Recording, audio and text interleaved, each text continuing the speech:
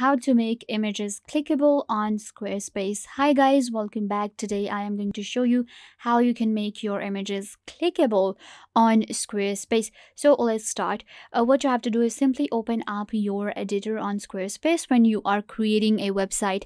So how to make an image clickable? Simply click on the image you want to make clickable. Let's just say I want to make this image clickable. So when you click on an image, you will see this option right here, which is a pencil and it is the edit option. So in edit, you will find the option of link right here.